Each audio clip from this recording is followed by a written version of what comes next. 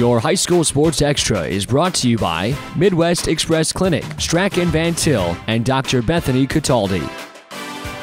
I'm Andrew Garcia, and this is your high school sports extra. There's been no shortage of action on the high school hardwood to begin the new year. Here's a look at some of the fun we've already had this week.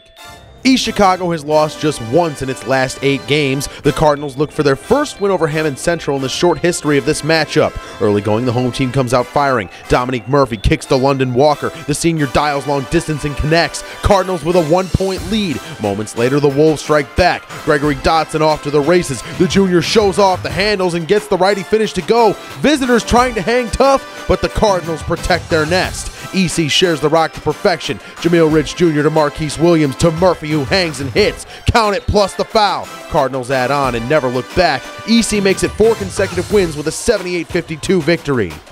Winter break continues for high school athletes, which means plenty of midday action on the basketball courts. Bowman Academy meets St. Francis out of Chicago and former Hammond Central head coach Larry Moore Jr. Picking things up in the fourth, the visitors going down low to Davion Doty. The senior can't finish the first one. Doty sticking with it. The big man gets it to go on the second try. Warriors hanging tough. Later, Emmanuel Foley is handing out late Christmas presents. The senior plays long ball with Lamonte Cross, who finishes it off with the fancy footwork and reverse laying off the glass. Back and forth we go. Final seconds of the game after a made free throw to tie things up. Cross cannot connect as Jeremiah Sims collects the board. The senior off to the races and looking for the win. Eagles force the turnover though. Foley collects it as he did moments ago. Turns on the burners and bounces to Cross, who goes up strong for the bucket just before time expires. Bowman wins a thriller 53 51. The Eagles snap a two game skid.